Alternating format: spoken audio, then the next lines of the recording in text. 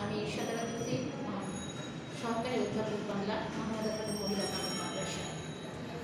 আলিম প্রথম বর্ষের শিক্ষার্থীদের সুস্থতা এবং সর্বাধিক মঙ্গল কামনা করে আমি বাংলা দ্বিতীয় পত্রের ব্যাকরণ অংশ আলোচনা করতে যাচ্ছি। পূর্বের ক্লাসে আমরা আহ, দ্বি- দ্বিতীয় অধ্যায়ের দ্বিতীয় পাঠ শুরু করেছিলাম আজকে সেই দ্বিতীয় পাঠেরই বাকি অংশ আজকে আমরা পড়ব আমরা আজকে পড়ব শব্দের আদিতে ও ধ্বনির উচ্চারণ কোন কোন ক্ষেত্রে বইয়ের মতো উচ্চারিত হয় সেই বিষয়ে। আমরা যখন উচ্চারণ করি, অনেক সময় দেখা যায় যে বানানের যে জিনিসটা আছে, আমরা সঠিক সেই জিনিসটা উচ্চারণ করি না। বানান এবং উচ্চারণের মধ্যে কিছুটা তারতম্য হয়। যেমন, এই ধ্বনিটা আমরা সবাই চিনি, এটা একটা সর্বর্ণ এ। এর সাথে যখন আমরা ব্যঞ্জনধ্বনির প্রথম বর্ণ ব্যবহার করি ক, তখন এটাকে আমরা যদি এক বলি, এটা কিন্তু বানানে যা আছে সেই হিসাবে এটার উচ্চারণ হয় এক। এক বললে তোমরা সবাই কিন্তু হাসবে, কারণ এটা এক শুনতে আমরা অভ্যস্ত নই আমরা এটাকে কি শুনতে অভ্যস্ত? এক। তাই নয় কি?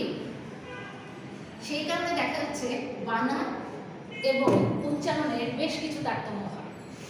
অনেক ক্ষেত্রেই দেখা যায় শব্দ, বর্ণগুলি তাদের নিজস্ব বৈশিষ্ট্য হারিয়ে অন্যের দ্বারা প্রভাবিত হয়। তেমনিভাবে শব্দের প্রথমে যদি অধ্বনি থাকে, তাহলে অনেক ক্ষেত্রে দেখা যায় পার্শ্ববর্তী শব্দের কারণে এই অধ্বনিটা হ্যাঁ তার বৈশিষ্ট্য হারিয়ে অনেক সময় ওয়ের মতো উচ্চারিত হয়। এখন কোন কোন ক্ষেত্রে অধ্বনি ওয়ের মতো উচ্চারিত হয় সেই বিষয়ে আমি তোমাদের আজকে বলব। প্রথমেই হচ্ছে এক নাম্বার হ্যাঁ অধ্বনি কোন কোন ক্ষেত্রে ওয়ের মতো উচ্চারিত হয়? এক হচ্ছে, যখন নাকি শব্দের প্রথমে অধ্বনি থাকবে এবং তার পরবর্তীতে রস্বই অর্থাৎ রস্বীকার হ্যাঁ দীর্ঘই অর্থাৎ দীর্ঘইকার রসু রসু হুম এবং দীর্ঘ। এই কয়টা কাঠ থাকে, তখন কি হয়? সেই অটা ওয়ের মতো উচ্চারিত হয়। দেখো তাহলে কীভাবে হয়? ক, যখন নাকি অ থাকল হ্যাঁ তারপরে যখন আমরা এই ঋষিকার দিয়ে এখানে যদি লিখি অতি, তাহলে কিন্তু এটাকে আমরা কখনোই উচ্চারণ করব না, অতি। অতি যদি কেউ বলি, তাহলে দেখা যাবে আমরা হাসাহাসি করি। এটা সঠিক উচ্চারণটা কি হচ্ছে? অতি। অর্থাৎ ঋষিকার থাকার কারণে এই অ কি হয়ে গেল? ও এর মতো উচ্চারিত হলো। তেমনি ভাবে আবার ওশি এই অকে কিন্তু আমরা অ উচ্চারণ করছি না। এটাকে কি উচ্চারণ করছি? ও উচ্চারণ করছি ওশি তেমনি ভাবে খ যখন দীর্ঘইকার থাকে, তখনও কীভাবে হয়? তখন দীর্ঘইকার থাকলেও অটা ও এর মতো উচ্চারণিত হয়। যেমন, অধীর। আমরা বলি অধীর আগ্রহে অপেক্ষা করছি। হ্যাঁ? এই অটাকে কিন্তু আমরা অধীর বললাম না কি বললাম? অধীর। কেন?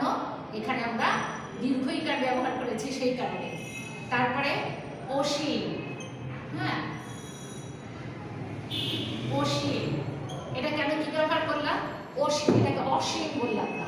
তাহলে দেখা যাচ্ছে আমরা যখন দীর্ঘইকার ব্যবহার করব, তখনও সামনে প্রথম, আগে অগুলি ওর মতো উচ্চারিত হবে। তারপরে দেখা যাচ্ছে তিন নম্বর নিয়ম, যখন রস্যকার থাকবে, তখনও যেমন এখানে অ, তারপরে নু, এটাকেও কিন্তু আমরা কি উচ্চারণ করছি? অনুনয় এটাকে কি উচ্চারণ করছি? অনু। কেন? এখানে রস্যকার আছে। তারপরে দেখা যাচ্ছে আবার আচ্ছা অন্য একটা ধ্বনিতে যাই সব অনা দিয়ে। আচ্ছা। ম, ধু। হ্যাঁ এখন তোমরা বলবে, এখানে তো ম, এটা তো অ না। আসলে এই মটার সাথে কিন্তু অ যুক্ত থাকে। আমরা ম যখন উচ্চারণ করি, একটা অ উচ্চারণ করি, ম। ঠিক আছে? ম, একটা অ উচ্চারণ করি। কিন্তু এখানে দেখো সেই মধু না হয়ে কি হয়ে গেল? মধু এই যে অয়ের সাথে যে যুক্ত ময়ের সাথে যুক্ত যে অটা, সেটাও কিন্তু পরবর্তীতে রস্যকার থাকার কারণে এটা কি হয়ে গেল? এটা হয়ে গেল মো ও উচ্চারিত হলো মধু ঠিক আছে? তারপরে দেখো ঘ নাম্বার হচ্ছে দীর্ঘইকার। যখন নাকি কয়ের পরে দীর্ঘইকার থাকবে, যেমন অদূর। অদূর ভবিষ্যৎ। হ্যাঁ এখানে কি হয়েছে? এখানে দীর্ঘইকার আছে। সেই কারণে এখানে অটা কি হয়ে গেল? এই অটা, হুম এই অটা ও এর মতো উচ্চারিত হচ্ছে। তেমনি দেখো, অকুল। হ্যাঁ এটাকে কি বলছি? অকুল বলছি না, অকুল বলছি। তাহলে দেখা যাচ্ছে যে প্রথমে এক নম্বর নিয়ম যেটা, সেটা হচ্ছে শব্দের প্রথমে যদি অ থাকে এবং তারপরে যদি রস্বই দীর্ঘই রস্য দীর্ঘ থাকলে সেই অটা এক মানে ও এর মতো উচ্চারিত হবে ঠিক আছে? এটা হচ্ছে এক নম্বর নিয়ম। এখন আমরা দুই নাম্বার নিয়মে আসি। আচ্ছা এটা হচ্ছে দুই নাম্বার নিয়ম। হুম। দুই নাম্বার নিয়মে বলা হচ্ছে, শব্দের প্রথমে যদি অধ্বনি থাকে হ্যাঁ তারপরে যদি আমরা অয়ের পরে যে বর্ণটা আসবে সেটা যদি জ ফেলা ব্যবহার করি। জ ফেলা ব্যবহার করলে সেই অটাও আর কি হবে না? অয়ের মতো উচ্চারিত হবে না। কি হবে? ও এর মতো উচ্চারিত হবে। যেমন পদ্য হুম, আমরা কি করি? পদ্য বিকাল চাকুরিকার তারপরে অধ্যক্ষ।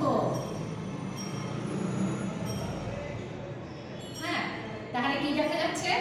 যে দুই নাম্বার নিয়ম হলো, অয়ের পরে যদি জফলা থাকে, তাহলে সেই অটা ও এর মতো উচ্চারিত হয়। সেই অটা নিজস্ব বৈশিষ্ট্য রক্ষা করতে পারে না। সে অন্যের দ্বারা প্রভাবিত হয়ে অ, ও মতো উচ্চারিত হয়, যার জন্য আমরা বলি অদ্য, অন্য, অধ্যক্ষ, এইসব ইত্যাদি শব্দ আমরা ব্যবহার করে থাকি। তারপরে হচ্ছে তিন নম্বর নিয়ম। তিন নম্বর নিয়ম হচ্ছে যখন নাকি কি হবে অয়ের পরে আমরা রফালা ব্যবহার করব। এটা হচ্ছে রফালা এই রফালাটা ব্যবহার করব, তখন দেখা যাবে কি হবে তখন এই রফালার প্রভাবে এই অ ও এর মতো উচ্চারিত হবে। যেমন, অভ্র। হ্যাঁ তারপরে ভ্র। আচ্ছা। নম্র। আচ্ছা এখানে আমরা ব্যবহার করতে পারি অভ্র, তারপরে গ্রন্থ, প্রভাত গ্রন্থ তারপরে প্রভাত এখন প্র এখানে কি প পয়ের সাথে একটা অ আছে, তাই না? যখনই রফালা দেওয়া হলো, তখন এই প্র- প্রভাত না হয়ে কি হয়ে গেল? প্র, ও ও উচ্চারিত হলো। গ্রন্থের সাথে কি আছে? গ আছে, গ। গ, স্পষ্ট একটা একটা ক উচ্চারণ হচ্ছে কিন্তু যখনই এটার সাথে রফালা দেওয়া হয়ে গেল, তখন এই ব্যঞ্জন বর্ণ গয়ের অটা কি হয়ে যাচ্ছে? গ্র, ও। এটা আর গ্র হচ্ছে না। সেই কারণে দেখা যাচ্ছে যে যখন নাকি রফালা থাকবে অয়ের পর, তখন সেই রফালার প্রভাবে এই পরটা কি হয়ে যাবে? এই পরটা ওর মতো উচ্চারিত হবে যেমন অভ্র, গ্রন্থ, প্রভাব ইত্যাদি।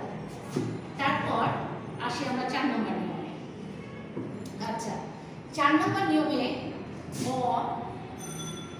এরপরে যদি রি অথবা রিকার থাকে তাহলে সেই ক্ষেত্রেও দেখা যাবে, এটা কি হয়ে যাবে? এই রিকারের প্রভাবে এই অ ও এর মতো উচ্চারিত হবে।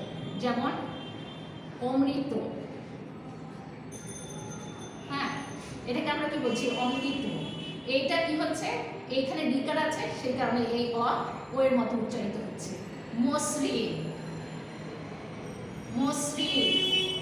হ্যাঁ এখানে কি আছে? এই ম। ম, একদম অ উচ্চারিত হচ্ছে। কিন্তু যখনই রিকার দিলাম তখন এই ম হচ্ছে ম, ও উচ্চারিত হচ্ছে মসৃণ ঠিক আছে?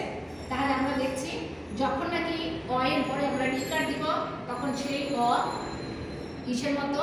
ও এর মতো উচ্চারিত হবে। যেমন, অমৃত মসৃণ ইত্যাদি। তারপরে আমরা আসছি পাঁচ নম্বর নিয়ম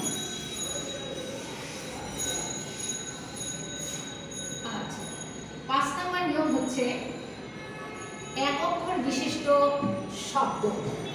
এক অক্ষর বিশিষ্ট শব্দের পরে যদি কি হয়? দন্তন্য থাকে, ঠিক আছে?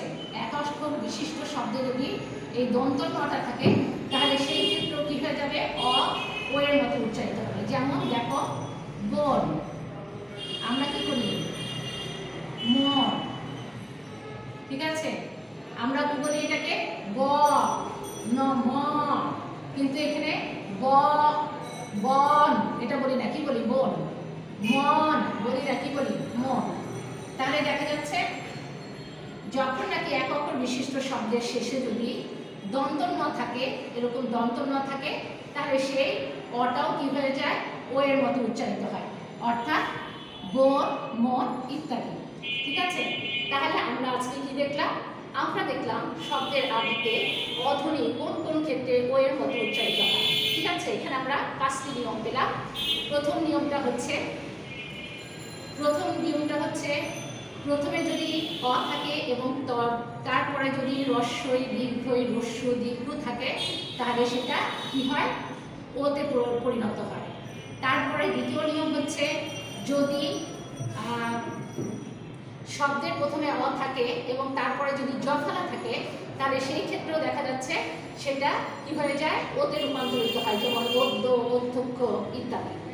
তিন নম্বর নিয়ম হচ্ছে যে শব্দের প্রথমে যদি অ থাকে এবং তারপরে যদি র ফেলা থাকে হ্যাঁ র ফেলা থাকে, তাহলে সেই ক্ষেত্রেও যেমন কি হয়ে যায়?